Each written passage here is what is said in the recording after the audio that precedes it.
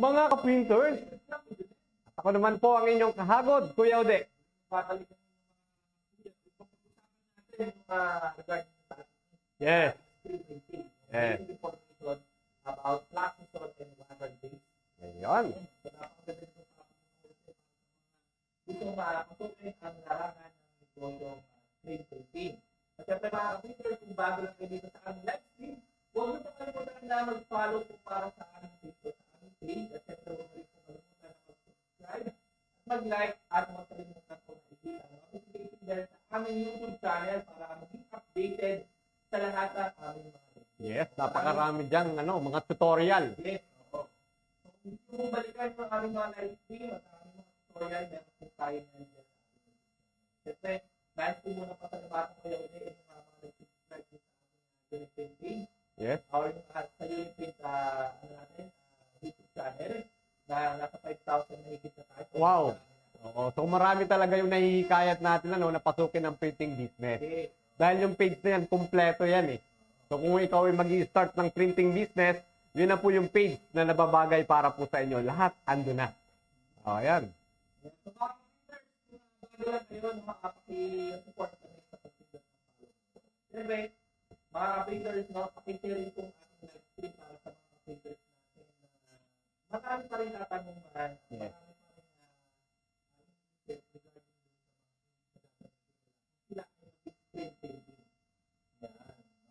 So, So, bibigyan natin ng mga kasagutan yung matagal ng ah, may mga katanungan pagdating sa mga inks na gagamitin natin. Huwag po kayong malilito.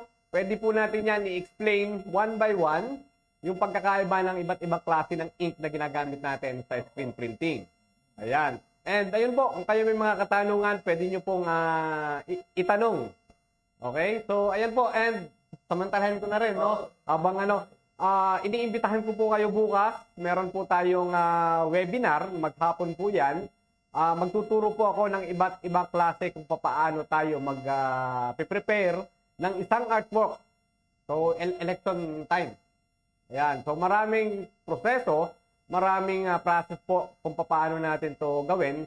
So, yun po yung ituturo ko bukas. Step by step po yan. mga nag, ano, nagbabalak sa pasukan ng ganito klase ng Yes. at ang target ninyo ngayon is uh, election, no? So ito din pagkakataon ninyo at uh, take na yung opportunity ito dahil ang ituturo dyan ay CMYK.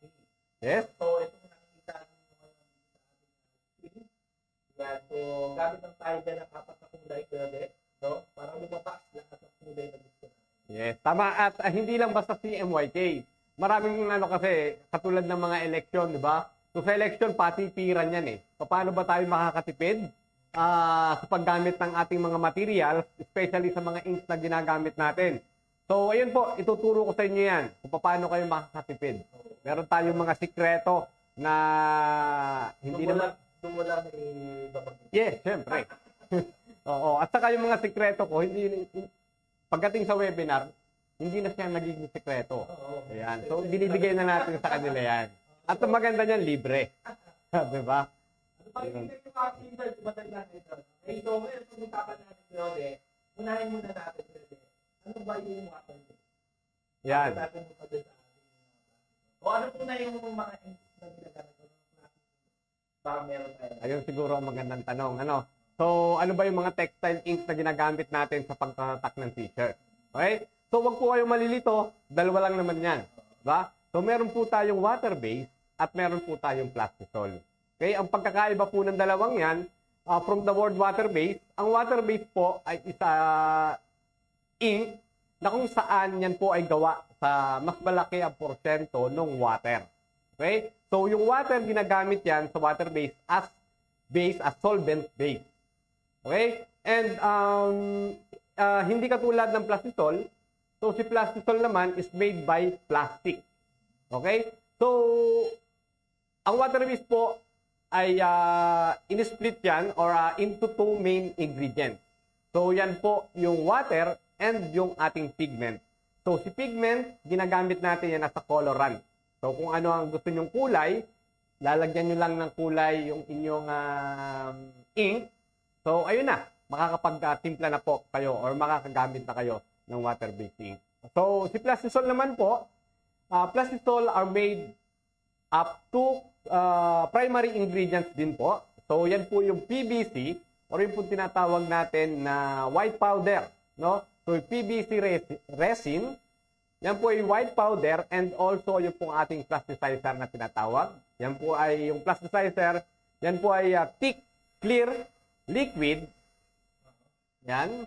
So, nasa na? Napakalat. Ayan. So, Plastisol ink will not dry. So, ito lang kagandahan naman sa Plastisol. Ang ah, ito is advantage sa Plastisol na hindi siya natutuyo or nakukure sa normal temperature. Hindi katulad ng water-based, papabayaan mo lang siya ng, ah, ng matagal. Sa screen natin, posible matuyo or ah, matuyo sa ating screen.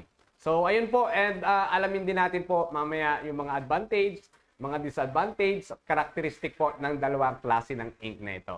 Oh, Ayan. So, pa-claim natin yung sinabi po ni Kuya De, no, para sa mga printers natin. So, yung water-based po, sabi ni Kuya De, is made by uh, water, uh, water, ano, uh, water and pigment. Yes. Okay, so Oo. yun yung kanyang component para makabuo ka ng water-based na ink. Yes. Tama ba Kuya Kuya De? At Okay. makapag-provide ka ng mga kulay na gusto mo. Tama. Oo. Ayan. So, yung Plastisol naman po mga printers is, uh, meron siya component na PVC resin at saka yung plasticizer. Plasticizer. So, Oo. ito po component na to ay uh, ganun din para siyang uh, sa water base na kung saan makakapag-create ka ng mga kulay na gusto mo rin. Pero ang advantage ay hindi basta-basta natutuyo sa mataas na temperatura. Tama ka, Kuya Junel, ano? So, Unahin muna natin, ano ba yung logic? Bakit ang bilis matuyo ng uh, water base at yung uh, plastic naman ay uh, napakatagal ng matuyo? yes. Ayun nga. So, since uh, water, alam naman natin ang water, so with the normal temperature or normal drying or nakahang lang siya, talagang matutuyo yan. So, mag evaporate po talaga yan hanggang sa matuyo. So, yun yung po yung, ah, for example, ah, sa production mo.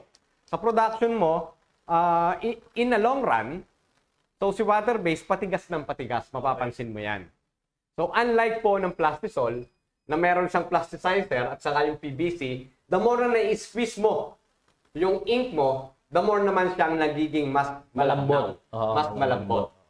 Yan. So, yun po yung pagkakaiba. Sa water-based naman, ah, once na tumigas yan, during long run production mo, Oo, tama. Okay? Pwede kang maglagay ng ah, distilled water. So, since water-based yan, pwede kang maglagay ng distilled water para mapalabnaw natin yung ating ink. Okay. Okay? Ah, sa ibang mga company or ah, sa mga supplier, meron silang ah, mga reducer, Mhm. may mga additive silang nilalagay para lumabnaw yung mga ink natin. Okay. Okay? So, ito po, pinakikita ko sa inyo, ito pong ink natin, Kuya Junel, ano? Mhm. So, yung ating international coating or yung ating ICC ink. So, ito po, ah, ito po yung ating ah, mabibili kay Uniprint sa lahat po ng branches ni Ni Uniprint. Uniprint. At ah, good news po, dahil si Uniprint, Mhm. may dine-develop na rin po na bagong um, ink Inks. yun na po yung water-based ink. So ito po yung ah, ito po yung matagal na actually matagal na dapat itong na-launch, no? Oo. Ah, due to pandemic, Oo. so isa na rin yan sa reason kung bakit na-delay tayo Okay. sa pagla-launch ng ating ah, ink. So malapit na malapit na to. Malapit na. Ilang ilang buwan na lang. Sana. Okay, so mga ka-printers, yung ah, the logic is yung water-based kasi sa taas or sa init ng temperature nag-evaporate eh. So Tama. that's why nauubos yung tubig nung ating inks or yung ating ah, water-based ink kaya natutuyo siya. Imagine ninyo kaya po kapag ka nag ano tayo ah nag ah, ano tayo nag-screen printing tayo ng ah, water-based, madalas sa mga printer natin binabasa yung screen. Mm-mm. Oo. So bakit? Kasi pag hinagod nila yon, yung ink na yon possible na matuyo, mag-evaporate agad. Lalo na kung ang iyong lugar ay hindi talaga siya ganun ka ah, solido yung ah, yung lugar, yung kumbaga properly ventilated. Yung kadalasan mga naka-water based nga kuya din, no? Ah, mainit talaga kaya kinakailangan nila kada pahid nila. Mayroon silang foam, Yes. Oo. binabasa nila yon tapos sabay salpak uli. Yes. At ah, marami, no? Maraming mga additive tayo Oo. pwedeng ilagay. So, ano nga ba yung additive? Yung additive po, ah, inilalagay po yan or minimix natin yan sa ating ink para i-enhance natin yung property ng mga ink natin. For example, Mhm. katulad ng, ah, yun nga, yung alam natin pag mainit ang panahon, kung gagamit tayo ng water-based ink, Oo. medyo ma- mabilis magbara. Mabara, matuyo. Ayan. So, meron tayong mga additive na mga plug opener, may mga reducer, para maiwasan natin na ma- madaling matuyo Mm. yung mga inks natin at nang magamit natin siya ng dire-diretso. Okay. Yun. yun. So, may mga ano po yan. Kayong mag-alala. Alamin nyo lang po, base po sa mga, ah, sa supplier po ninyo. Oh. Okay, pero syempre, dito na kayo sa water basing ni Uniprint. Oo. Malapit na po natin Oo, ito. ma- malapit na Malapit yan. din na mabibili po sa market. Ayan. So, yung ating plastic sol naman, Kuya Ode, no, no, sa, sobrang tagal po nito matuyo. Actually, meron tayong ganyan Yes. na ilang linggo na siya na nakalagay doon sa screen at hindi pa rin na nag-kaklag or hindi pa rin nagbabara. Yes. Bakit kamo? Kasi ito mga printers wala naman dito nga water na mag evaporate Yeah. at maninigas yung ano mo. So, meron siyang plasticizer. So, And ah, si ah, Plastisol ay oil-based siya. yes, oil-based. Kaya hindi siya talaga natutuyo or hindi siya na basta-basta Oo. nagpapara unless na ma-expose siya sa 90 degrees Mm-mm. ah, na ano na Init. init so unti-unti na siyang mag ah, matutuyo. Maninigas. Oo, Maninigas. matutuyo. So. Kaya So, dapat ang ano nito, ang ah, kasi imagine mo pag hinagod natin to, ang curing nga natin dito is 160 degrees Celsius. Yes. So tuyo na 'yon, 'di ba? Tuyo na 'yon. So imagine niyo kung 90 degrees 'yan tas naka naka expose yan or naka story yan ng ah, mga ilang days. For sure, mag mamumuo na. Tama. Maninigas na talaga yan. So, mer huwag kayong mag-alala din. Kasi kuya, de, bakit? Pag may mga ganun tayo, katulad ng plastisol, meron din tayong mga reducer na ginagamit. Kung sakali na medyo lumagkit na, tumigas na masyado yung inyong uh, plastisol. Hindi naman yung sobrang tigas ha. Pero pag yung plastisol tumigas na dahil sa init at temperature na 90 degrees sa, sa, sa sobrang tagal, kahit lagyan mo ng mga reducer, hindi na rin siya Yes, applicable oo. na gamitin. So kung halimbawa lang na medyo lumapot Oo. na, ah yan, lalagyan na natin siya ng mga pampala, pampalab na or yung reducer nga. Doon po sa mga baguhan pa lang gumagamit naman ng plastisol, ano, Mhm. pag bumili po kayo at unang bukas mo sa plastisol, sobrang hirap pong haluin yan. Oo. So baka isipin nyo, ba't sobrang tigas? Oo. Okay, so normal mo normal po 'yon sa ating ah, plas, ah, sa ating plastisol. Mm-mm. And ah, ito po, haluin mo lang siya ng spatula. Haluin mo lang siya ng haluin hanggang sa lumabnaw na siya. And then pag malabnaw na siya, saka pa lang siya ah yun na, pagka lumabnaw, magagamit. Saka mo pa lang siya gamitin. Bakit kaya lumalambot siya kuya Ode? Masyadong technical na kuya Dipel, no? Ano? Hindi, feeling ko kasi dahil doon sa paghalo mo, nag-create siya ng friction or init. Hindi, bakit lumalambot? Oo, bakit lumalambot siya? Oo, oo. May nabasa ko din eh, hindi ko lang masyadong marik. Pero feeling ko, ang ah, sa akin opinion na, yung logic na nakikita ko kasi, pag ninahalo mo kasi, tapos yung ink, di ba, sobrang halo mo, minsan parang umiinit yung ink. Oo, meron Oo. kasing ah, paliwanag talaga dyan eh. Mm. No? So, tatawagan natin si ah, si Rod. Para may paliwanag dyan. Masyado technique. Pero syempre, meron din naman tayo kung sakaling kahit na ano, ah, kahit ilang beses na kayo nakahalo, tapos hirap pa rin kayo, meron tayong reducer para mas mapadali yung... Yun. So, kung nahalo mo na, lumabnaw na, at ah, during production mo, medyo nahihirapan ka, eh magalala, marami tayong pwedeng ah, gawin para yan ay ah, mapalabnaw natin. Oo. Para maka, ma- magawa natin yung production natin nang hindi tayo masyadong nahihirapan. Ayun. Okay, so basa muna tayo kay Junel ng ating comments. Ayun. So, sa mga ka-printers natin, no, yung ating uh, plastisol and water base, yun yung umpisa natin, yung pagkakaiba nila. At syempre, ah, bawat ah, inks natin ay meron tayong tinatawag na reducer para po mapanatili natin yung ating mga inks na magamit natin ng pangmatagalan na pan- na production. Ayan. So sabi ni ah, Sir Ron Aldo, good afternoon po mga kahagod. Yan, sharer badge. Si Elijah Ramos, yan, shoutout natin. Sir Ryan Patrick Paragas. Sabi niya, Kuya Junel, pwede ba sa PPA, PPE ng pang-dentist? Okay, yung ink ata tinutukoy. PPE ng pang-dentist. Ano yung ginagamit mo doon, Kuya Ode? PPE na pang dentist. Depende kasi sa materials. Eh, dapat Mm. specific tayo po sa materials para makapag ah, ah, recommend tayo. No? Oo. So, Mi- feeling ko kasi, Kuya Ode, ang mga PPEs kasi parang nylon yung kanyang ano. okay. So, ah, pwede naman po yan. Subukan nyo yung ah, mga solvent-based na ink. No? So, pag mga ganyan, mga, mga plastic po yung ating mga ah, materials, ah, mga solvent-based ink po. Hindi ko lang masabi kung ano ba yung klase ng solvent-based dahil hindi pa naman natin masigurado talaga kung ano yung klase ng materials. Ah, nabitin yung, yung kanyang tanong.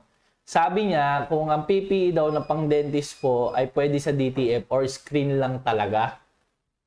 Ayan. So, sa tingin ko, pwede naman both yan. Depende nga po dun sa sinabi ni Kuya. Kung ano yung, yung fabric na gagamitin ninyo. Yes. Oh. At syempre, ah, nag-uusapan natin dyan or kung consider din natin dyan yung cost, yung ah, gastos natin doon sa ating production.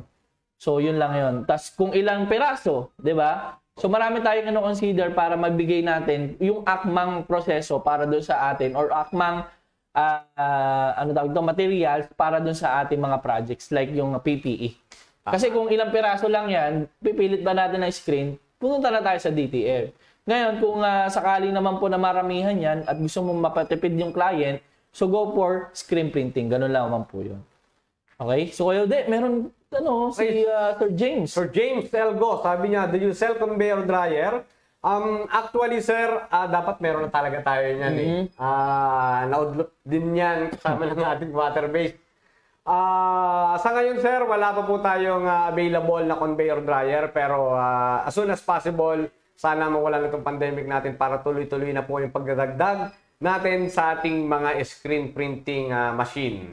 Ayan. At mga consumable, madadagdagan po. Asahan nyo na po yan sa Uniprint. Sabi naman ni Lee Mendoza, pa-shoutout Sir Adel from Balien, Cavite. Yan, hello po sa mga taga Cavite. Yan. At sabi naman ni Elijah Ramos, ito magandang tanong din to Kuya Ode. Magkaiba po ba ginagamit na emulsion sa plastisol at water base? Ayan, so meron po kasing ah, iba't ibang klase ng emulsion ano. Meron po tayong ah, pre-sensitized at meron tayong tinatawag na mm, yung diaso ah, photo emulsion. So tatandaan lang po natin sa paggamit po, meron kasing ah, um, photo emulsion na kailangan ah, meron siyang ah, water-based, ano bang ah, tawag dito? Nalimutan ko yung term.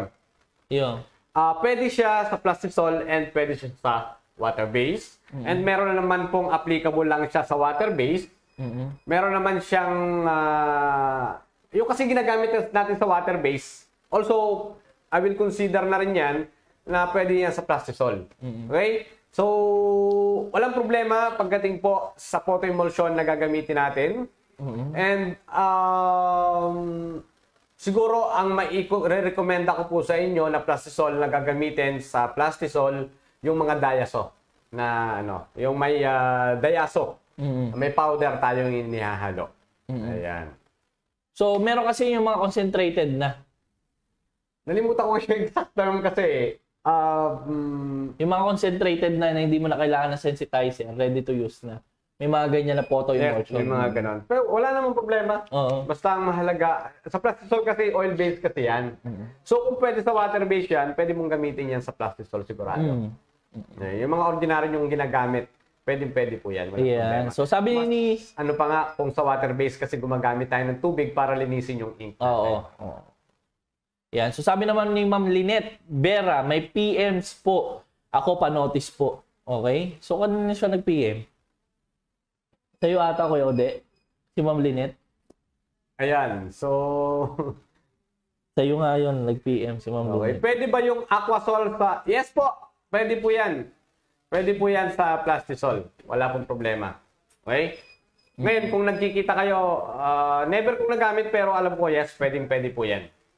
Pwede, Ah, sa pwede. page? Ah, sa page. Oo. Sorry Ma'am Lynette, no? Ah, ang sales natin na nakaka-view nun. Tayo Yes. is live. na. Pero sige po, ipapalo up po natin. Apo. Hindi pong PM. Sige po. Oo. I- Iyan natin yan. Ipapa-notice natin yan sa ating mga sales.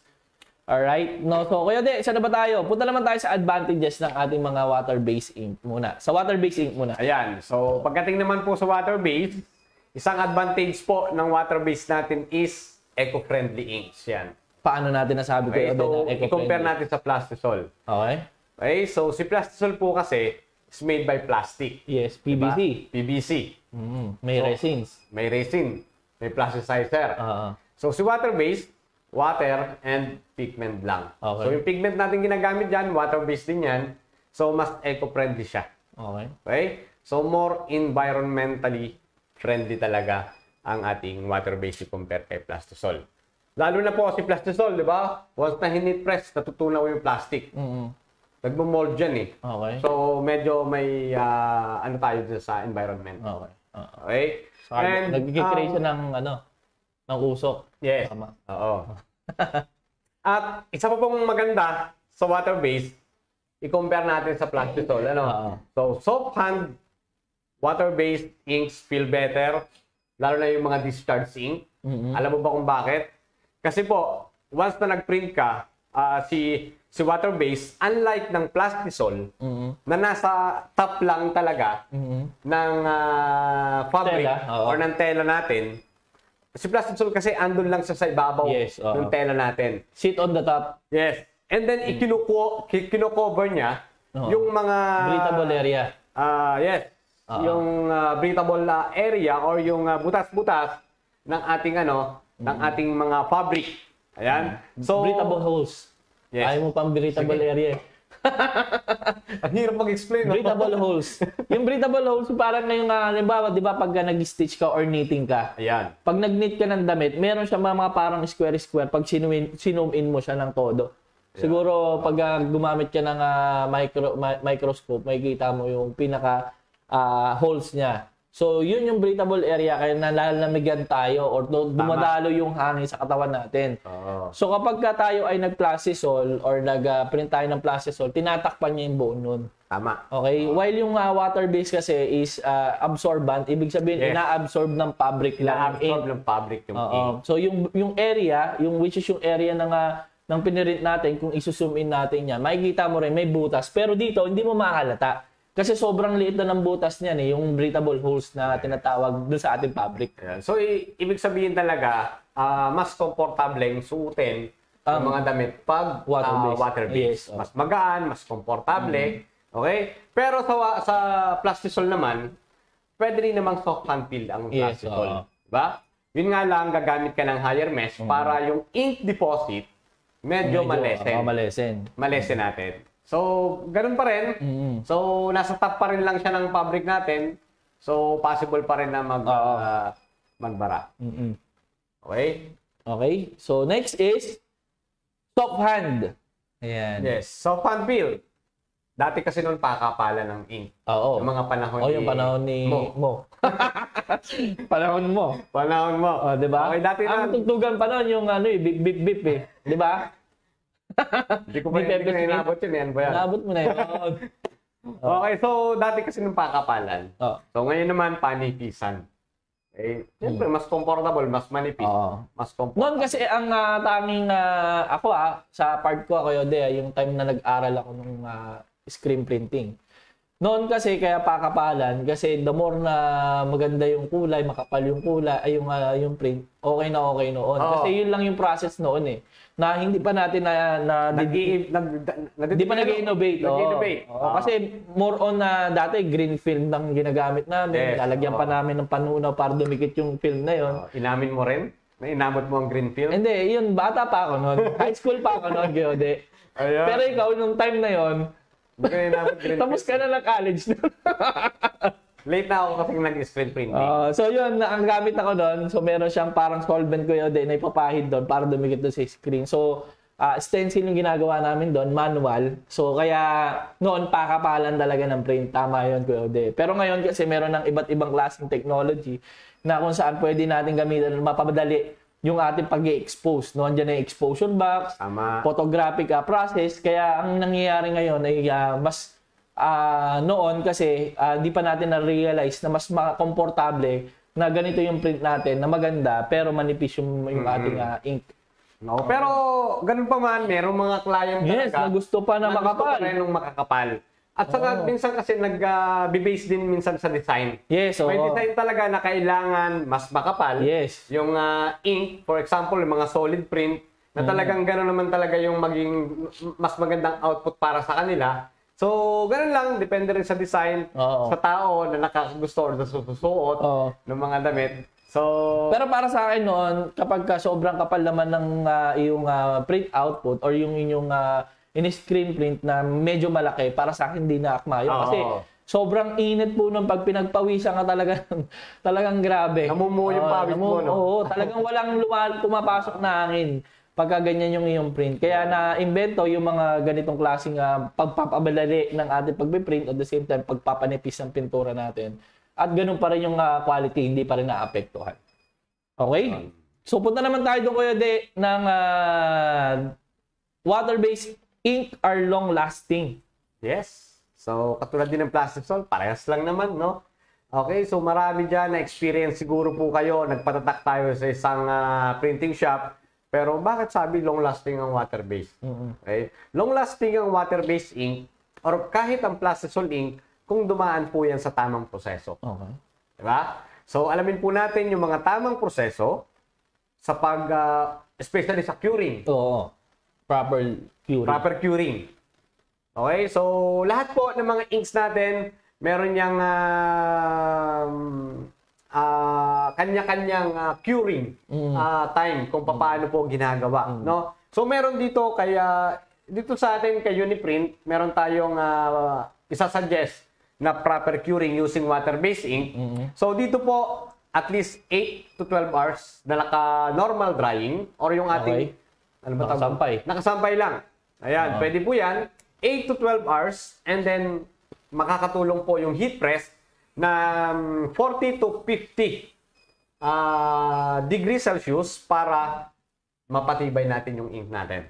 So, ibig sabihin, bukod sa 8 hours and 12 hours, i-heat press mo pa rin siya pagkatapos. Yes, alam niyo po kung bakit. Generally po, lahat po ng mga water-based ink, it takes 72 hours para po ma-cure or para matuyo yung ink natin. Okay. Kasi po, kailangan yung water content ng ink natin ay mag-evaporate at kumalas siya dun mismo sa ink. Ah, Kailangan yung mag-evaporate eh. oo. kailangan ma-dispose yung ink. Ay, yung, ah, yung water. water, sa, doon sa mismong tatak. Yes, para magi ah, para masabi mo ma-fully cure yung ating ah, ink. Okay. So sa printing process po, ito na po yung pinaka-recommended namin, 8 ah, ah, 8 to 12 hours na naka-normal drying and Okay. then makakatulong po yung heat press para mapigil ah, para ah, mapaigsi natin yung ating ah, 72 pag-hintay hours. na 72 Oo. hours. So, kung kukumpitin natin yung 72 hours, Three meron days? tayong 3 days na curing or yung ah, tinatawag na dispose, yung ano nga, Yes. And uh, uh, gano'n naman tayo eh, no? Siyempre, kailangan natin ma-release na agad natin yung ah, Mga yung short. mga Oo. short natin. And also, yung ating ding mga client, gusto Oo. nila, mabilis Oo. din lagi. So, gano'n lang po. Makakatulong para mas mapabilis ang process. And siyempre, kailangan aware din yung ah, client natin Oo. na pag ibibigay, sir, ah, kung paano natin i-handle Oo. yung mga prints natin. Mm-mm. Nang sa ganon, hindi tayo magkaroon ng problema in the future. So, dapat alam natin yung tamang curing para masabi mong water-based ink are long-lasting. okay. Diba? Ang ganda nga So, nun. ayun. Pwede, no? So, next is uh, water-based is allow high, ay, oh, high, tama. High allow detail. high, higher detail. Yes. So, ibig sabihin yan, ah, yung mga um, design na ma-details, katulad dito. Mhm. Diba? So, kung ano ang kaya ni Plastisol, so kaya rin natin sa water-based ink. Okay. So, ganun din. Same din lang siya. And ah, kahit maliit na details, yung maraming details, kaya natin palabasin using water-based ink. Okay? Okay. So, water-based ink po, nire-recommenda natin 120 po ang mesh na gagamitin natin or yung screen na gagamitin natin. So, for general use ng water-based ink, maximum po tayo ng 120. Although, mayroong mga ibang company na yes, pwede nyo subukan 150 or mas mataas pa sa 150. No? Pero alam po natin, ang water-based, nagbabara. Okay, wag po natin masyadong uh, persahin. Or wag natin pahirapan masyadong sarili natin. So, 120, ano ba ang hindi kayang gawin ni 120 So, ang ano doon, ang, printing ah, natin? yun yung ating ah, ah, pros, no? Ah, yung cons natin. Yes. Tama ba? Pros and cons natin. Kasi kapag ka mataas yung mesh count mo at yung water base kasi, tulad ng sinabi ko, kung medyo mataas yung ah, ah, production temperature, air, yung, yung temperature ng ah, production mo, eh, mabilis nga matuyo. No? So, ngayon, kapag ka maliliit pa yung butas mo, mahihirapan nang pumasok yung ink Isa pa yan. Sa ating ah, mesh count na ginamit na mataas. Yes. Kaya sabi ni Ma'am Elijah Ramos, anong ink ang nababagay sa beginner? Yan. So, syempre, Kuya De, di ba? maraming gusto mag-start ng negosyong ah, screen printing. Pero ano nga ba ang ah, nababagay ink? Na ink para sa kanila? Ah, depende kasi. Diba? Depende kasi, ma'am eh. Ah, katulad ko, nagsimula ako sa water-based and ah, medyo mahirap talaga kung hindi natin na masyadong, kung hindi natin pag-aaralang mabuti. Pero pagdating kasi sa plastisol, mas ano to eh, mas ah, friendly user talaga ang plastisol. Unang-unang isang karakteristik ng plastisol na talagang ah, nababagay Oo. sa mga baguhan kasi nga hindi siya natutuyo. Oo. So kasi kapag medyo mag-uumpisa ka pa lang, hindi ka pa sanay humagod, medyo matagal kang humagod. No, hanggang sa makuha mo na yung tempo at saka yung yung pulso at yung iyong paghahagod hanggang sa bumilis ka na. So that's the time na siguro ah, kailangan mo na mag-upgrade pa ng ibang mga ano, ng mga ibang proseso or mga ink na gagamitin. Oo. Kasi para saan kasi pwede eh, no? Kapag ka nag-plastisol ka, tapos iba kasi yung yung yung hagod mo diyan eh. Medyo may konting force, ay ma- mabigat Pressure. bigat yung pressure mo or force mo kapag naghahagod ka. Now, kapag ka siguro, kapag para sa akin lang ha, opinion ko lang to ha, pag nagumpisa ka ng plastisol, pagka ikaw ay magwa-water base na, sisiw na sisiw na sa iyo yung water base. Hindi katulad ng naranasan ko na nagumpisa ako sa water base, ang hagod ko medyo hagod na na lang. Hagod, ah, ano tawag doon?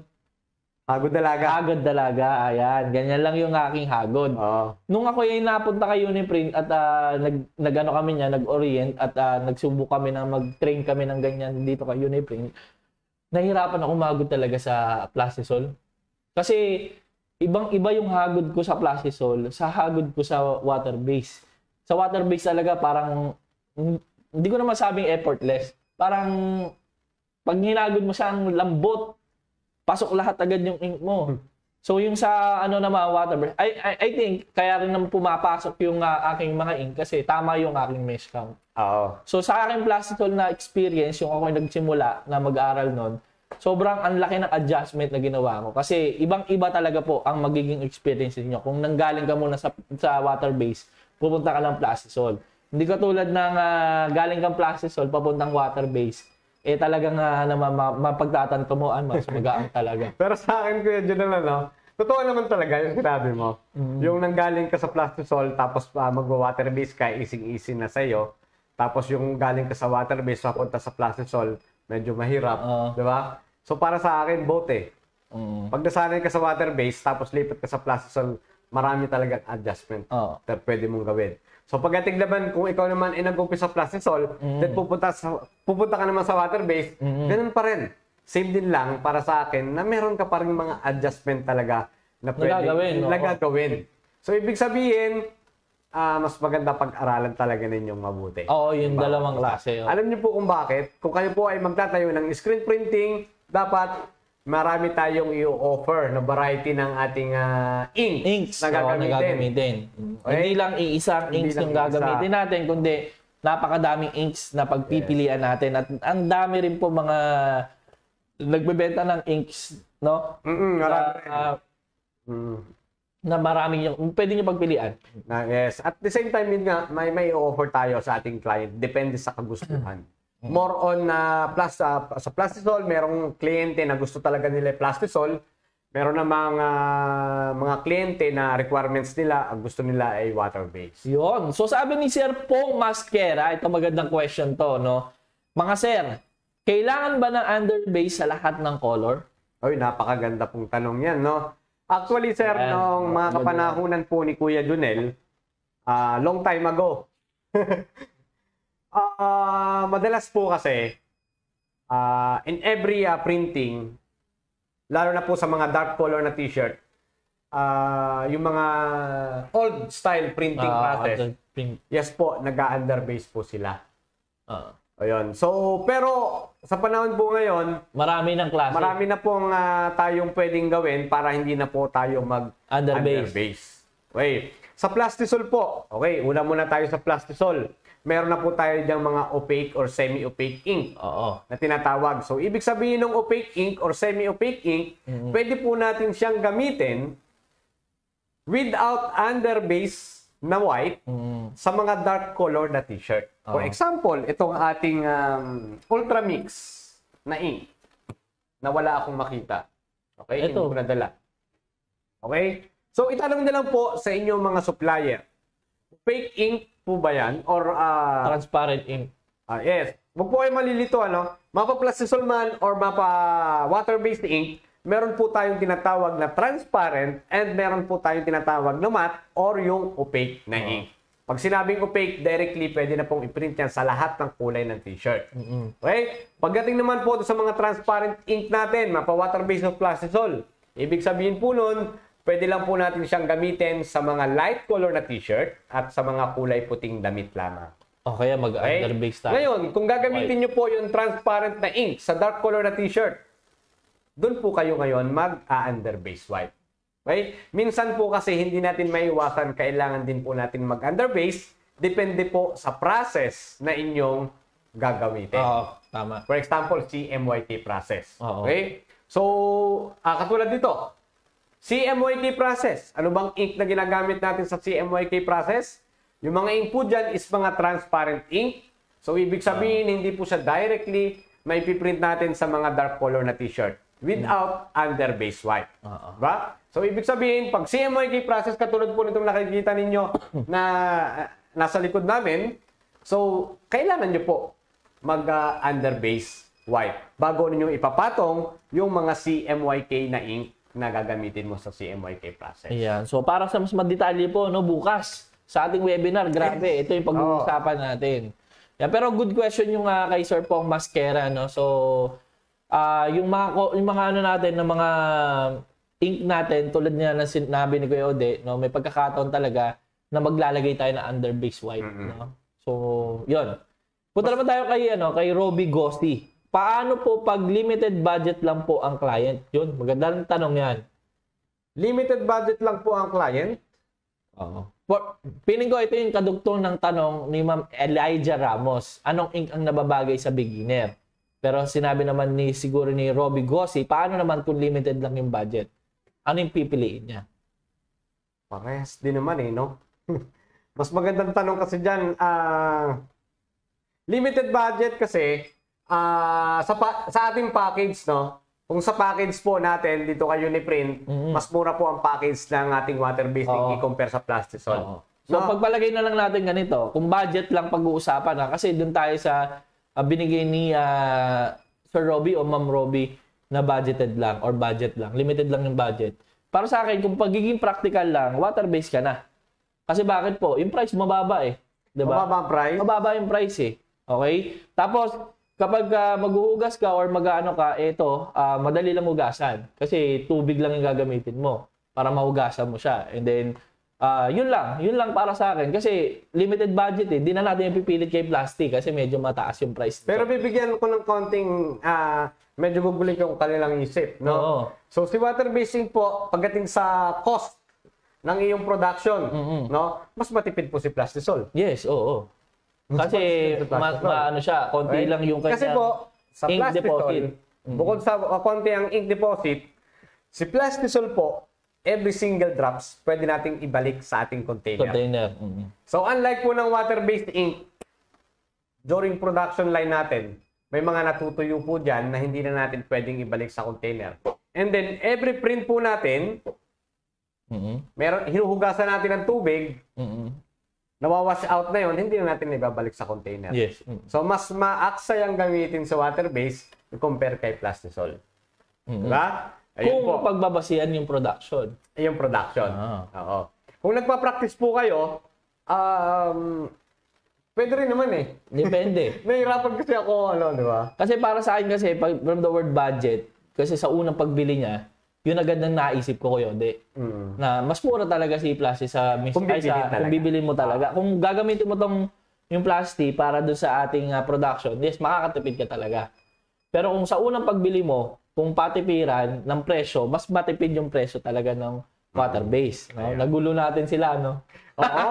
Ang gusto ko kasing mangyari, kaya sila yung magde-decide. Oo. Malaman niyo yung pagkakaiba ng uh, dalawang klase po ng ink natin. Marami kasi talagang nalilito dyan. Saan ba ako magsisimula? Ngayon, kapag ang- ba ako o magwa-water based? Ngayon naman, pag ang tanong ni client kung ang uh, yung bang ink yan ay matipid ba yan, Oo. So, sa, siguro kung ganun yung tanong sa akin, Kuya Ode, ma-recommend ko is plastic. Kasi Tama. alam natin na ganun yung kanyang ah, katangian pag nasa production na tayo. Pero kung pag pinag-usapan yung price ng ink, mas mura pa rin si Water water base. Okay, so klaro na yun. Yes, Hindi. klaro na. Malinaw na malinaw Natumbok na. natin yun, ha? Very well said, Kuya. Okay, so depende sa tanong pala. Hindi depende, sa gusto mo. Depende sa tanong po. Kung ano po yung tanong nyo talaga specific. Pero ito limited budget eh. Ano to eh, majority. Okay. So punta tayo kay uh, Elijah Ramos. Paano po yung high density na print? Paano po mag-mix ng ink? May basis po ba o trial and error? Need pa ba ng anti-migration migration kahit may underbase na? So, yan yung mga katanungan na medyo maganda din talaga. Paano po mag-mix ng ink? Di ba unang tanong? Ah. Ay, high dense pa. High dense muna. Paano po mag-high dense, ah, na, high dense na print? Ayan, so napakasimple lang po ng ating high dense, no? So, una, gusto natin is high density or yung may, ah, ano ba tawag doon? 3D effect. 3D effect. Yes, high density. Ah, para umangat po ang ink, basically kailangan po natin na high high high density photo emulsion din po ang gagamitin natin. Okay? Meron po tayong high density photo emulsion na pwedeng gamitin para yung ating stencil or yung screen natin na gagamitin ay makapal na rin. Okay? Pero pwede po tayong gumamit ng ordinary natin na na Photo photo, emulsion. emulsion. Pwede natin siyang pakapalin ng pahid. It takes siguro mga 4 to 5 coats ng photo emulsion para medyo makapal siya. Isang diskarte naman yun ng mga ah, mga pinagbabawal na technique ang tawag namin dyan. Eh. Pero feeling ko ko de- depende sa kanila kasi last time na nag-high tayo, hindi ako contento doon sa apat. Ginawa natin mga anim. Yes, pwede yun. Oo. Oo. So, ang purpose natin is para mapakapal natin yung Oo, ordinary yung ordinary natin na, na, ano, na Design, photo emulsion. Okay? And then, yun nga lang, pag gumamit ka ng ordinary photo emulsion, minsan 10 coats ka bago mo ma-achieve yung kapal na gusto mo. Oo. At saka hindi rin biro po magpakapal. Print plus, print plus po. Ibig sabihin print dry, print dry. Matagal. Unless gagamit po tayo ng high dense din na photo emulsion, siguro mga 4 coats, Oo. ma-achieve na natin yung kapal na gusto natin. Mm. Ayun. So, ganun lang po. And ah, minsan kasi nagiging topic ko rin po yan sa webinar Oo, kaya atinan na niyo po yan. Kaya abang-abang lang po kayo sa mga webinar na gaganapin po natin. Mm-mm. So kuya de, pataas muna ako ng ating ah, comment, no? So bago tayo pumunta naman sa advantage ng ating plastic. Meron pa, marami pang tanong si Ma'am ano eh.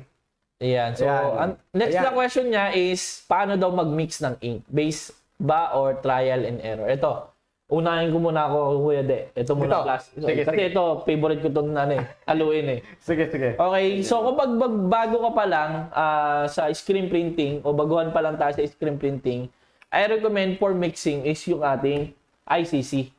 Kasi meron siyang ah, calculator na kung saan nasusukat natin yung timbang at nung ah, para makuha natin or ma-achieve natin yung kulay na hinabol natin. And at the same time, sa Phantom calculator nito ay makikita nyo po yan at libre lang yan. No? Sa icc.com tapos i-click nyo lang yung Ultramix at pumunta kayo sa Ultramix mixer or mixer. Sorry, Kuya Junel. iccinks.com. Ah, ICC Inks. Kulang ng S, sorry ako yun. Ah. ICCinks.com. Tapos click nyo lang po yung Ultramix. Tapos meron tayong makikita na mixing formulator. Yun. Yun, i-click nyo lang po yun mga ka-printers. Nandun na lahat ng mga Pantone code po based doon sa inyong ah, design. For example, ah, 700C. Pag kinompute nyo yan or kinilik nyo yan, meron po tayong isi-select kung 500 ml, isang litro, isang galon, isang is- tat- tatlong litro, or kung ilang ah, gallons ba yung ititimpla ninyo, meron siya doon. At the same time, once na ginawa natin yan na inilagay natin kung ilang gallons, meron tayong simulator doon, Kuya Ode, sa baba, na kapag kinilik natin, lalabas doon lahat ng kulay na ibibigay niya based doon din sa binibenta ni Uniprint. So kung makikita nyo po, meron po silang mga code din na binibigay. Itong code na, for example, meron kasi dyan may makikita kayong code na, ayan, 141, mga ganito, 220, Ultramix natin, may mga ganun tayo. So binibigay niya yung code at the same time yung description. Kung ano yung ah, pangalan ng code na yon. So minsan may cyan, Tapos, may makikita kayo doon, kung halimbawa, apat yung binigay, so, kailangan makompute nyo yung 100%, no?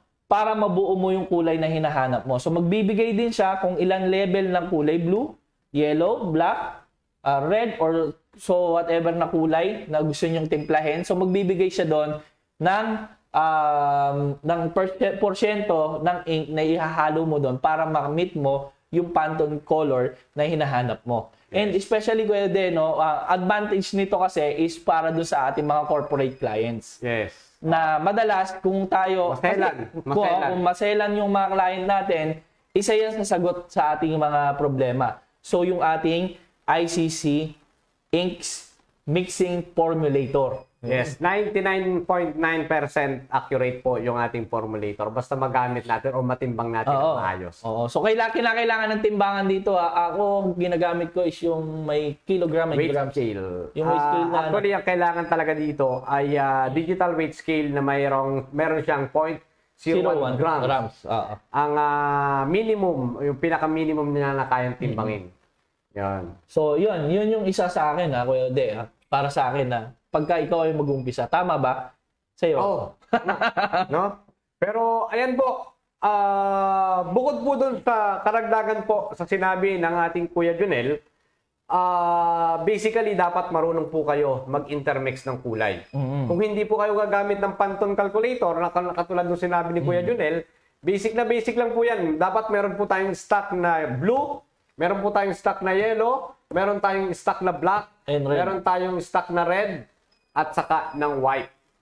Okay? Okay Doon po sa nabanggit ko. Dito pa lamang po sa tatlong to. Okay? Dito po sa tatlong to, lahat po ng kulay, pwede nyo nang i-mix. So, ito kasi ang primary color, Kuya. Primary color po ang kailangan natin. So, once na pinag-combine natin to, parang sa ano lang natin, natututunan natin sa school, di ba? Ah, yung ah, primary color, color, secondary color, tertiary color, at saka yung, ah, ah, ano ba tawag dito? Um, yung black and white and Oo, ano, ah, may tawag doon, nakalimutan ko na.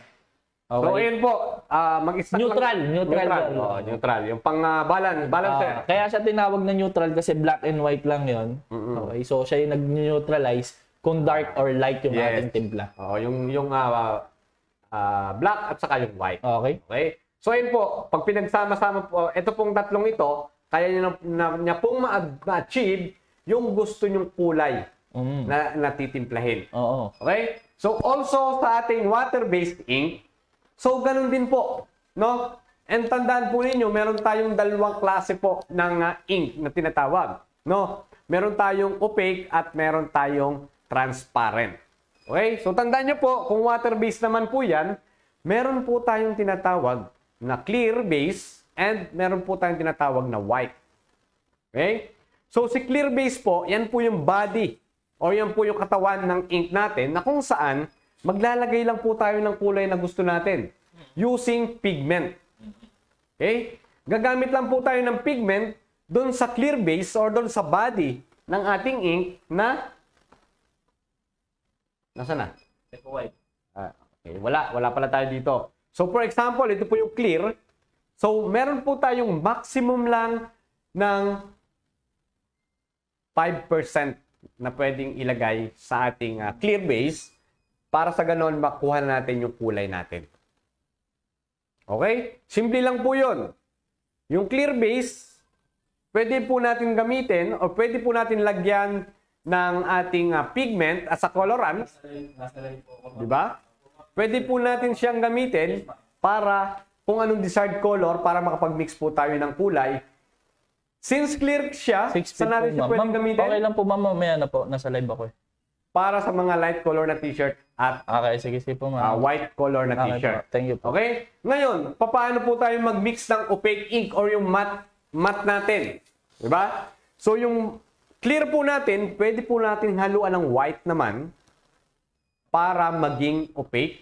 So, pag sinabing opaque, directly, pwede natin siyang i-print sa dark color t-shirt without under base Underbase white. white. Uh-huh. For example po ng formula natin, magmi-mix mo, mo- mo- magmi-mix po muna tayo using water-based ink ng, for example, sa mixture natin is 100 grams.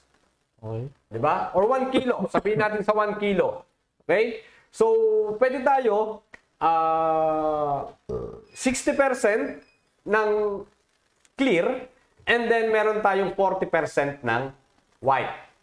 Pag pinaghalo mo yon, pwede na po siyang, ah, ang tawag po dyan is matte base or opaque base na siya. Okay. Ngayon, pwede po natin siyang lagyan ng colorant natin o yung ating pigments Oo. And then haluin lang po natin mabuti. After po nun, directly pwede mo na siyang gamitin sa mga dark color t-shirt without under base white. So tandaan nyo po, 5% po yung maximum na inire-recommenda po ni Uniprint para makapag ah, mix po kayo. O makapag-mix kayo. ah, in every mixture, 5% po yung nire-recommenda sa maximum na pwede natin ilagay sa pigment. Para po sa mga ma-technical na detalye about po sa mga uh, Mixing. mixing, Oo. mayroon po tayong mga webinar para po diyan. Okay. Okay? So ayan po, wag po kayong maggalala. Dito po kayo ni Print, lahat po ng mga diskarte na alam po namin at pwedeng ituro po namin sa inyo, ituturo po namin yan sa inyo. Okay. Wala po tayong sekreto dito. At kung gusto nila actual yan makita ko Yode, no? So good news natin, no? Parating na po yung ating seminar na hands-on na kung saan po ay talagang matututunan niyo ninyo yung paghahalo ng mga inks, paano magtimbang, paano gamitin yung mga inks, at paano po mag-stretch. Lahat ng yon Yes. It's a good, Package na. Oo. good news po yan sa mga gusto pong matuto or gustong mag-aral or i-enhance yung kalaman pagdating po sa screen printing dahil ito pong seminar natin Oo. na ah, malapit na, no? Oo, Sana, malapit sana na. as soon as Oo. possible, no? Abangan nyo po na ipopost po namin sa FB page ni Uniprint. Pero itong ating ano ah, ah, ano lang natin no, take note sa mga ka-printers natin na nanonood ngayon. Yung ating ah, seminar na hands-on po, yung one-on-one is by schedule 'yan. So Yes, magpapa-schedule kayo sa amin at ah, huwag kayong mag-alala kung iniisip ninyo yung ah, safety ninyo dahil itong ating ah, ikinakandak na seminar na hands-on dahil sa request ng karamihan natin mga ka-printers ay ah, meron tayong mga health eh, ano health ah, Protocol. protocol and uh, safety ba para Safety. sa kanila. Oo. Oo. So na, lagi tayong magano diyan naka-disinfect. Ayan. So bago kayo umattend sa ating uh, seminar, meron din kayo mga pagdadaan ng examination. Yes. Bago para tayo- mapanatili natin yung pagiging ano, yung pagiging okay Yes. ng ating seminar. Para safe tayo lahat. Para safe tayo lahat, safe kayo, safe din kami. Oo. Ayun. So napakaganda. Alam mo. Ako tuwan-tuwa po ako nung mabasa ko yung course outline natin. Ano? Oo. Sabi ko, kung ako ay magtatayo ng printing business, Package especially na. screen printing business, ah nakita ko yung seminar. Ah, Hindi, lahat pala digital, no? Oo, lahat, lahat, lahat po mga ka-printers magmula screen printing, large format, digital printing business, ah, garments, and ah, marami pang iba. Okay, embroidery, Yes. Pero Pero full sublimation, Sa- lahat. Sa digital ba ilang araw? Sa atin, wala pa tayong binibigay na, Ah, wala, pa. pang binibigay okay. Sa sa screen atin. printing po, meron po tayong 3 days. Meron po tayong 3 days na seminar sa screen printing at lahat po ng process, ituturo po namin ang kagandahan dito. Kayo po mismo ang gagawa ng aming ituturo. Oo, so Hindi kami. yan. Kayo po yan. mismo. Oo. Tama yan, yan naman yun, Kuya Ode, kasi pagkatapos nila ng seminar, eh, kung agad-agad sila ay ah, magbibili ng package, ay magagawa nila at kabisado na nila yung makina. Tama po. Oo. Kasi hindi na, hindi na Hindi na sa makina. Hindi na sa mga kapa. Hindi lang sa makina, Oo. Kuya Junel, ano? Sa lahat ng klase ng technique, lahat ng diskarte, lahat ng proseso, ituturo po namin yan sa loob lang po ng tatlong araw. Oo. Sa Ayun. screen printing ha, Ang pero sarap. sa Sa ating screen digital, printing wala po pa yun. akong idea. Sa digital, abangan nyo po Alam niyo mga announcement. ka-printers, ito ay isang ay spoiler na maganda. Sa digital natin, yung mga nangangarap na mag-start ng digital printing business, lahat po doon ng services, ituturo natin. Sa mga nangangarap naman po magtayo ng sarili nilang garments printing, yung mga full sublimation, yung mga embroidery, lahat po yan ituturo natin yan. Sarap nun. No? Pero wala pa tayong specific kung ilan days yan kuya de. Ang alam ko lang sa screen printing pa lang yung may ah, days Ah, kung ilan ah. yan. Tapos regarding sa price na tanong ni ma'am, ni ma'am ano, paangat nga ako. Ode. Ni ma'am Elijah or Sir Elijah ba to ma'am Elijah? How much daw yung seminar? Wala pa tayong price niyan. So antayin lang natin pero nakaplat na po yung plano niya yan na seminar one-on-one. Talagang matututunan nyo po yan at hindi kayo manghihinayang talaga sa ibabayan nyo dahil sulit na sulit po yan sa loob ng tatlong araw pa lang sa screen printing. Talagang ah, puno na ng ah, kaalamanan. Oo. At saka siksik at liglig yung ating mga ano course list na ibibigay sa ating mga ka-printers. And huwag kayong mag-alala kasi ito ay certifi- ah, may May certificate. yan. certificate. At yung certificate natin, hindi lang basta-basta. Oo, abangan nyo po yan. Kasi meron pa tayo nilalakad para doon sa isang certificate natin. Yes. yun, eh. Ayan. Para ito ay magagamit nyo po talaga pang matagalan. Magagamit yun sa buong buhay ninyo. Oo. Yung Yeah. certificate pa lang po yun ha. Pero sana matuloy ano. Sabi ni Sir Alignete, susol- susolohin ka daw niya. Sosolohin ko, sosolohin ko lang yung master ko. Sabi niya, na-meet ko na kanood ng live stream. Pero de, paangat niya ako yung ating Ah, naalala ko na si Sir pa- ah, Ryan Patrick. Kausap ko na ito. Ito yung sa dent- dentista. Oo. So pataas ako dyan, Kuya ano, Rodel. Meron pang tanong si... Ayan, need pa ba ng anti-migration kahit may underbase white na? Or underbase na? Pwede. Yes po. Kung talagang, meron po kasi talagang tela. Nasa tela po kasi yan eh. Nasa tela yung, ah, and of course, sa color. Okay, mostly sa mga nagkakaroon ng um, dye migration, sa mga dark color like ah, red, maroon, ah, sometimes yung ah, blue, Mhm.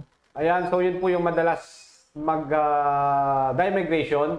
And pagdating sa tela, yung mga um, polyester, Oo. mga polyester na tela.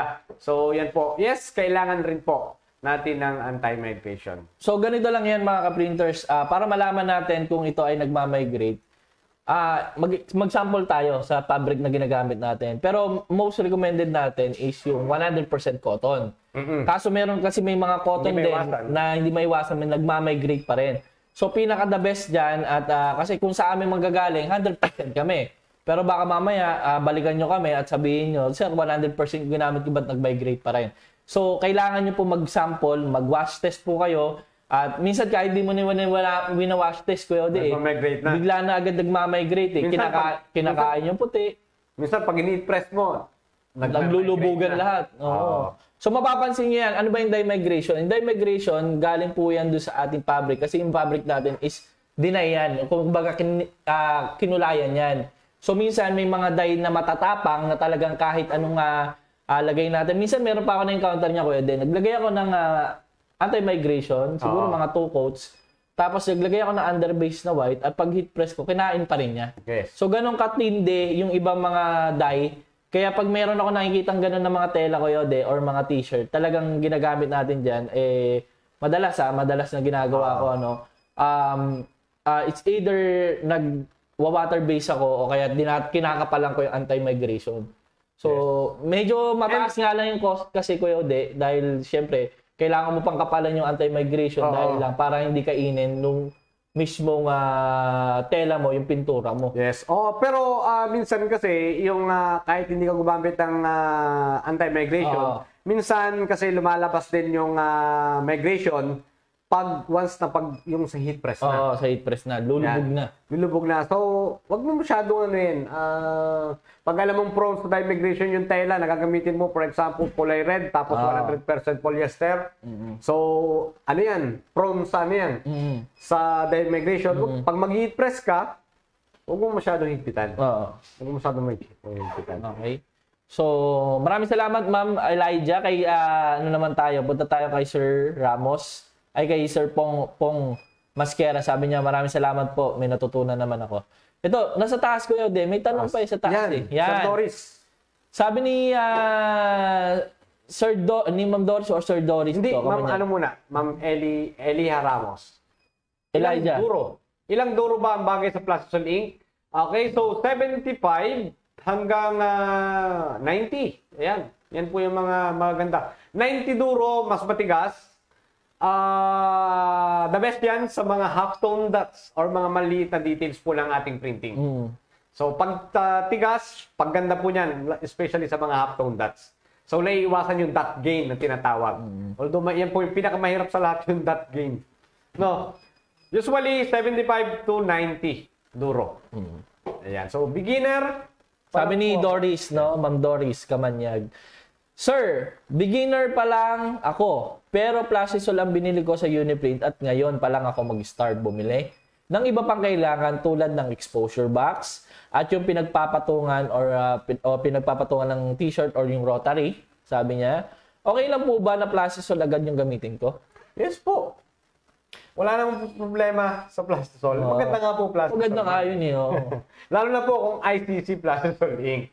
Siyempre, US po, one of the most ah, popular inks na ginagamit po sa US, ICC ink. Ah, Okay, so napakaganda po ng ating Plastisol. Napakaganda po ng quality, hindi po tayo mapapahiya. Ayan. So, Diba?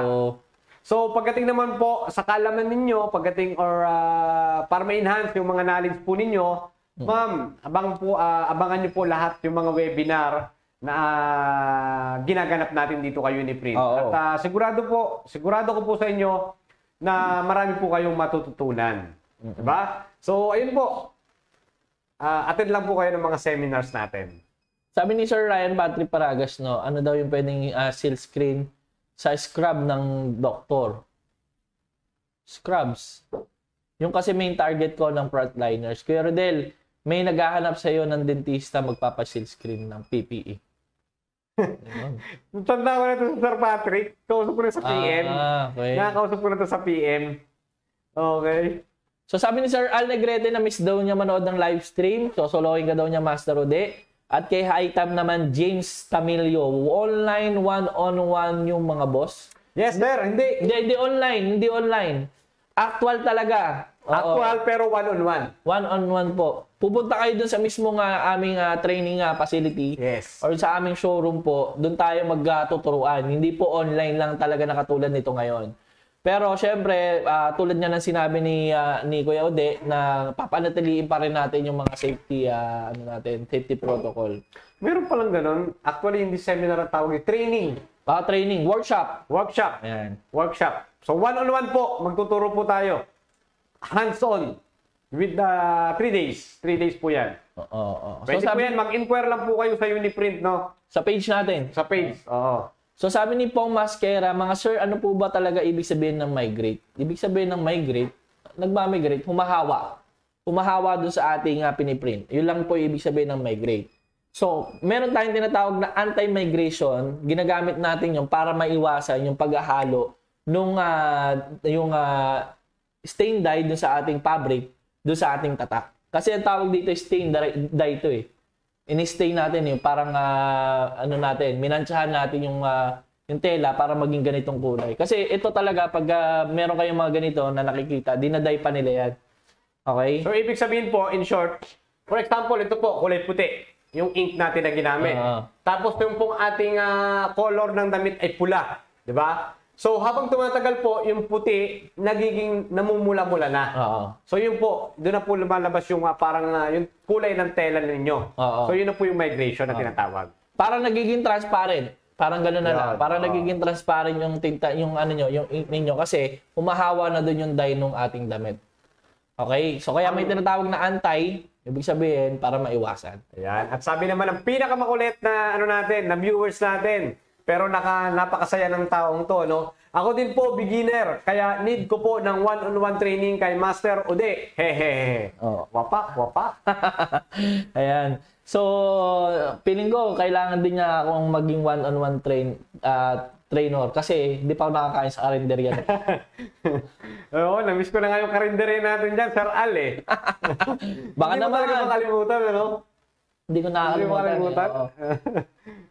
Ikaw, ikaw pa lang ang nakakain sa karinderya niya. Kaya Step Me, Stepwell Victor Concepcion sa Abedra.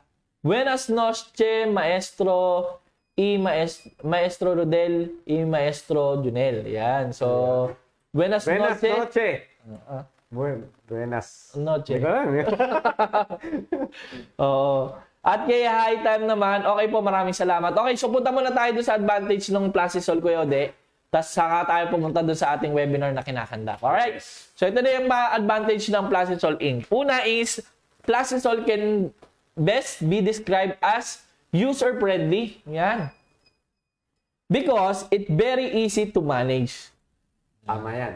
Kasi nga, katulad ng paulit-ulit natin binanggit kanina, easy manage kasi, hindi siya natutuyo.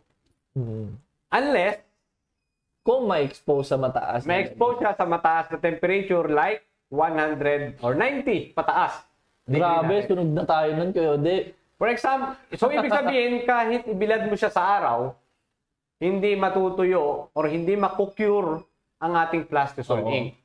Unless na ang araw po natin ay umabot ng 150 degrees Celsius, kayo na lang po ang lumabas.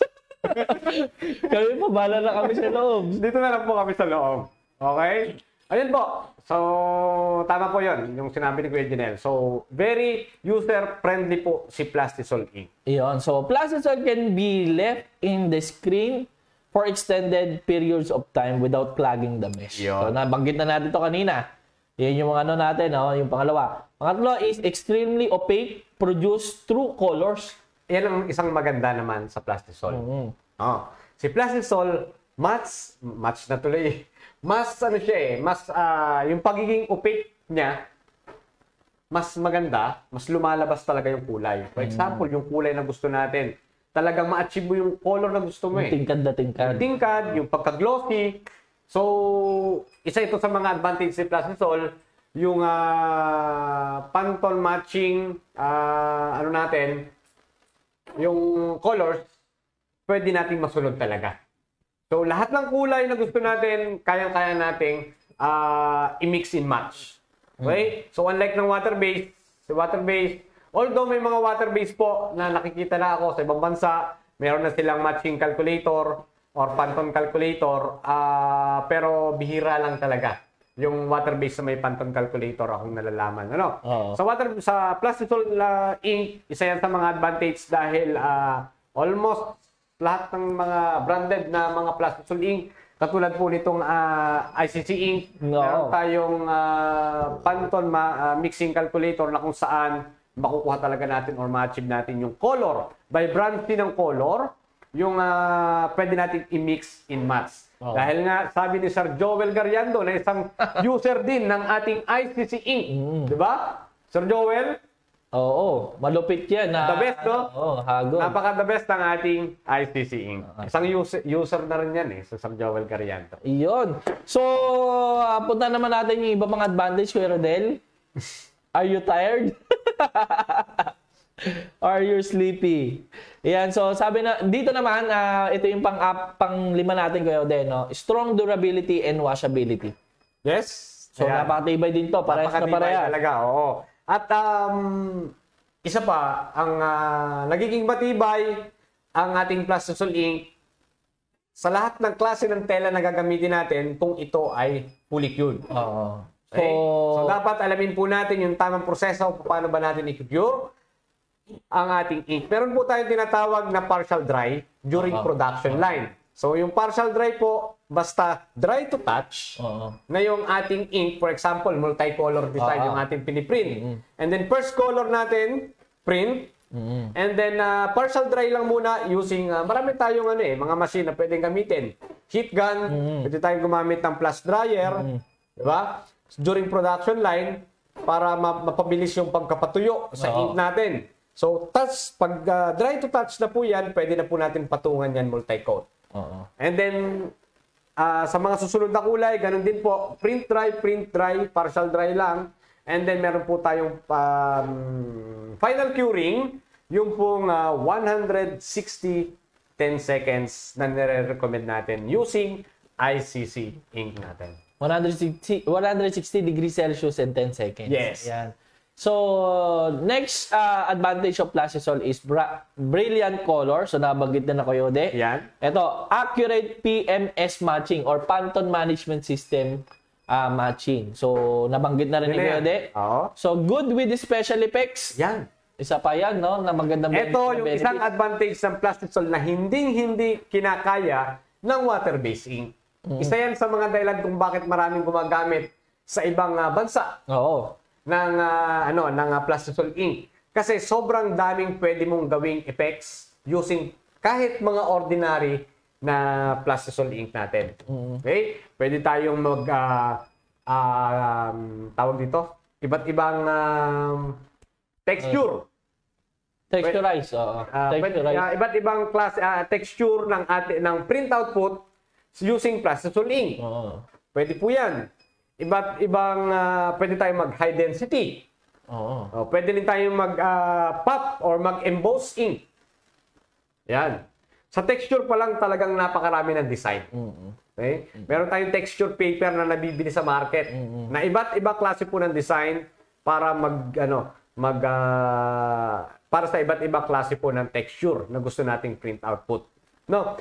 And also, pagdating po sa pagiging glossy Ng ating or mga jelly print. Oo. ng ating ah, print output, isa po, ah, kayang-kayang gawin po ni Plastisol yan. The more na si Plastisol ay na-expose sa heat, the more po yan na nagiging mas glossy, mas ah, matingkad, i-compare po natin sa water-based. Mm. Na hindi kaya ni water-based. Mm. Ayan. Yan. Okay? So, medyo nalilinawan na sila sa ah, dalawang klase ng ink natin. Yes, ayan. So punta naman tayo din sa iba pang katanungan, Kuya Rodel. Ayan, paangat ako. Pa-one on Nalilito na ako dito kay Sel uh, Negrete. Sabi niya, sa akin daw siya magwa one on one.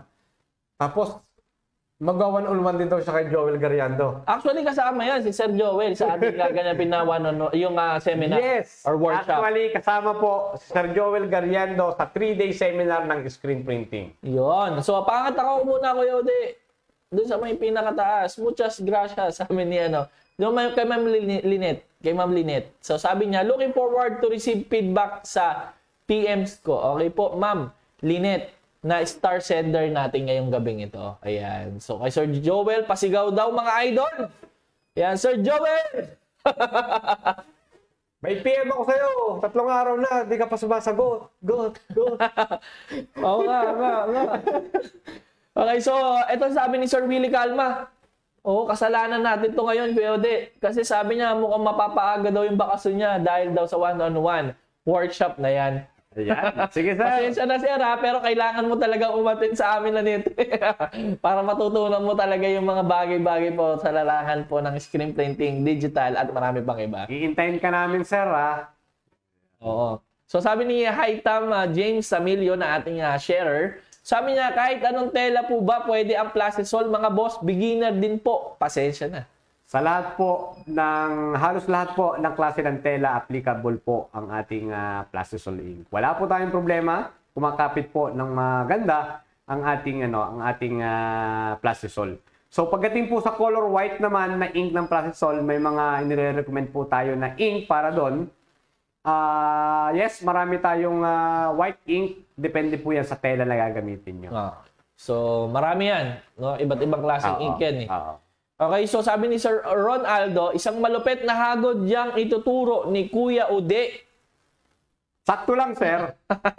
Sakto lang. Basta, ito po yung pinapangako ko sa inyo. Ah, sa mga gusto pong mag-avail ng one-on-one nating ah, seminar, sisiguraduhin, sisiguraduhin ko po, bago po kayo matapos sa 3 days na yan, maraming marami na po kayong natutunan. Okay. So sa mga nabitin po nitong ngayong ah, mga oras nito, itong araw na to, pwede kayong umattend bukas sa webinar po ni Kuya, ni Kuya Rodel, Yes. no? So ang gagawin niyo lang, pumunta kayo sa aming website sa www.uniprint.ph at i-click niyo lang po yung ating webinar at lalabas na po dyan yung schedule natin for the whole month of September. At tinan nyo na po lahat yan kasi libre lang yan. Sorry, excuse. Okay lang, Kuya Junel? Naiintindihan ako. ko? so, lahat ng yan ay libre po yan natin sa inyo ni Uniprint. At ang ating topic for uh, tomorrow is election short printing using CMYK spot and one color separation. So, ang dami nito, Kuya Rodel. Kaya mga ka-printers, atinan nyo na to. Ano bang hinihintay ninyo? Click nyo lang yung link at lalabas po yung ating another tab po na kung saan po maglalagay tayo or magpipill up tayo ng ating name, last name, email address, contact number at huwag nyo pong kalimutan na pindutin yung registration now para maka-attend kayo dun sa ating seminar room. At syempre mga ka-printers, kung kayo ay naghahanap ng mga package at gusto na pong bumili ng mga napupusuan ninyo mga package dito kay Uniprint, pumunta lang kayo sa website uli at i-click nyo yung catalog. So kapag click nyo ng catalog mga ka-printers, lalabas po dito yung ating mga package po na sobrang dami na pwede nyo pagpilian. At uulitin ko ulit na yung ating package po ay magkakaroon lang ng adjustment kapag bumili kayo dito kay Uniprint dahil dun sa ating printer na hanggang ngayon POD ay hindi pa rin stable yung stocks natin. Alright? So, pwede rin kayo tumawag sa 0917-808-8000 or pwede kayo mag-message sa amin sa aming ah, page at Uniprint PH At pwede rin kayong uh, mag ano sa amin, mag-email sa amin www.uniprep.ph. Yan. So sa mga kaprinters natin na naubusan ng consumables at nais nang bumili ng mga package, we accept order for delivery shipping at ang ating shipping forwarder kayo din. Walang iba kundi ang Lalamove, Grab, LBC, JNT, Victory Liner at AP Cargo. At ang ating pagpapadala po ay Mondays to Sunday po yan, alas 9 ng umaga hanggang alas 4 kasi bumalik na naman tayo kayo de. At syempre mga kaprinters, lahat po ng mga bus-to-bus terminal natin or ilan na bus-to-bus terminal natin ay nagbukas na. Kaya mag-inquire na po kayo sa amin para malaman natin kung kaya natin padala yan via bus-to-bus terminal. Kasi Victory Liner meron na eh. Okay? So pag dito kayo bumili kay Uniprint, mas pinadali at mas pinabilis ang pagbabayad using your mobile banking. So we have Metrobank, BDO, BPI, and GCash. Pwede rin kayo magbayad sa Cebuana Pera Padala, EasyPay, Palawan Express, M. Luwilier at Bayad Center at ito pa kuyo de. Pwede na nilang gamitan ng nilang mga Visa card and Mastercard especially para sa ating mga BDO holders sa ating main branch po ay tumatanggap na tayo ng BDO credit card dahil meron na tayong terminal dyan. So arat na kayo ni print at baka po maubusan kayo ng stock ng ating mga packages. Yes. dahil ang ating mga printer ay limited po, no? So tumawag lang kayo sa hotline na nakikita nyo sa inyong screen. At syempre mga printers, kapag kayo ay may problema no, sa pag-ibig, andyan si Kuya Rodel na pwede yung tawagan. Pero kung may problema po kayo sa inyong mga makina at mga prosesong hindi makakuha-kuha, ay pwede po kayo lumapit at magtanong sa ating Uniprint Tech Soup sa ating official Facebook account. At syempre, pwede rin kayo tumawag sa 0917-1063584 para sa Globe. At 0933-817-3738 para naman po sa SAN. At ang ating technical schedule po ay magmula lunes hanggang sabado po, alas 9 ng umaga hanggang alas 5 ng hapon. So, syempre, ngayon lang yan. At Yeah. syempre, skeletal pa rin tayo, Kuya Ordel, no? Pero mga ka-printers, ah, tawag lang kayo, no? Dito sa mga hotline na nakikita nyo sa inyong screen. At ulitin ko ulit, sarado po ang ating mga branches sa araw ng linggo at ang natatanging bukas lamang po ay ang ating main branch. Yan. So, may Meron pa nagkalagdan tayo. So, napakadami pang comment natin. So, basahin natin. Pababa. Yeah. So maraming salamat kay Sir Patrick Jason Cabading na sender natin ng 75 stars. Maraming salamat. Kay Pong Mascara naman, sabi meron din po bang opaque at transparent ang Plastisol? Yes, meron din po. Meron din po. Sabi naman ni Haytam James ah, Tamilio, sabi niya sana sir affordable ang one-on-one minimum wage earner lang po kasi ako. Okay, so ano natin yan sir, abangan natin kung ano yung magiging ano natin price natin diyan. Actually wala pa akong idea talaga. Wala dyan. pa rin ako eh. Oo. So, ang uh, nakaplot pa lang natin is yung training na gaganapin kung ano yung mga Course, yung course outline uh, course natin. outline natin or yung course, course, course line natin na ituturo natin sa ating mga ano ah, mga ka-printers natin. At kay Sir Patrick Jason Gabading naman, sabi niya, Good evening, sir! Kailan po yung one-on-one training at paano po sumali? Um, sa ating ah, one-on-one training, Kuya Ode, ah, pwede sila mag-inquire sa ating page. Yes. At ah, i-schedule sila kung kailan sila. Actually, limited lang talaga to eh. Kumbaga, ginawa lang natin to dahil sa demand ng ating mga kliyente or Yes. mga client or marami. mga Marami. na gusto nila mag-actual. Actually, dito naman talaga nag-umpisa talaga si Uniprint na magturo talaga ng actual. So marami na rin tayo mga screen printer po ngayon na sobrang gagaling na ngayon na nag ah, mga bunga na, o bunga na ah, training ni Uniprint, no? So abangan nyo po yan mga ka-printer, sobrang ganda po ng nailatag na ano na yan na seminar. Limited lang yan talaga sa ano sa mga ka-printers natin. And sa pag-preserve naman yan, alam ko magkakaroon rin na yan sa website kung paano sila magano. Pwede rin naman tumawag sa ating page or sa ating ah, hotline para po magpa-reserve kayo. Okay? So yung fee, wala pa po kaming ah, announcement regarding sa fee, pero maabangan nyo po yan dito pa rin sa aming live or sa aming webinar. Okay? So sabi ni Sir James Elgo, need to check available, available inks for Plastisol inks. Do you on-site for one-on-one for Cebu? Actually, ngayon, hindi pa po eh. Hindi pa po, Sir Wala James. po eh. Wala pa po talaga. So dito lang po sa main office Mm. natin na gaganapin. Meron po tayong ah, ginagawa na yung ating ah, bago na facility para sa Oo, training natin. sa training. Oo. Ang ganda nito ah, ang ganda nito ah, ang ganda talaga ng ano natin kasi hindi kayo maiistorbo dahil naka-separate po yung room ng screen printing, naka-separate, naka-separate yung room ng digital, naka-separate ang garments and full sublimation at yung signage making. Ayun pa pala, nakalimutan ko yung signage, sa mga gusto pumasok ng signage making. Grabe po yung seminar natin dyan. Kaya lahat lang ito, tinodo na natin ito. Kaya kayo mga ka-printers, abangan nyo lang po yan. Alright, so maraming maraming salamat po sa mga nag-share nitong ating live stream, sa mga uh, umatin ng ating webinar. Maraming salamat din sa mga nag-send ng stars. No, maraming maraming salamat po. At ah, once again mga ka-printers, kita-kits tayo bukas sa ating webinar kay Kuya De at live stream natin pagkatapos ng webinar natin. Okay, so may nakalimutan tayo dun sa ating branch. Anong branch yan, Kuya Rodel? Laguna. Ayan, so sabi ni ah, Sir Christopher Pan, pwede po ba magtanong kung meron kayong mga laser printer na pwede sa wood at plastic materials? Meron tayo niyan, laser printer. Meron tayo kay Sir po, Sir. Inquire po kayo sa ating Laguna branch po, Sir. Kay Sir Alejandro Magdasok naman, pwede po bang i-mix ang dalawa? Water-based plus plastisol. Ang ganda ng tanong, no? Ayokong uh, i-skip to kayo, de. Yes, No? ah, Shoutout po from uh, Calamba, Kabuyaw, Santa Rosa, Binyan at Lil Scraps PH. Okay. So, pwedeng ipag-mix or paghaluin ang water-based at uh, plastic sol. Hindi po pwede. Bawal po yan. No? Pero, pwede pong magsama yan. Under-based ng water-based. Then, top coat ka ng plastisol. Pero vice versa, mag-under-based ka ng plastisol, tapos top coat ng water-based, hindi po pwede. Okay. Ayan. So, yun po. Ayan. Sa may kamuning po ba yung main office niyo mga boss? Yes. Opo. Ayan. So, ano yan? Actually, wala na tayo sa main office, yung main office. Hindi, yung main store. office. Back office tayo. eh.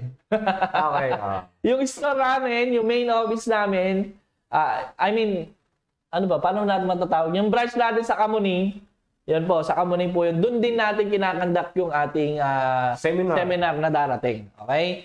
So, maraming maraming salamat mga ka-printers sa mga nanood at sa mga nag-share ulitin ko ulit, sa mga nag-send ng star. Maraming maraming salamat po. At once again, this is Kuya Junel. At ako naman po ang inyong kahagod, Kuya Ode. At nag-iwan muli kami ng isang katagang, if your business is no sign, it is the sign of no business. Maraming salamat mga printers. Magandang gabi po sa inyo lahat and keep safe everyone. Bye-bye!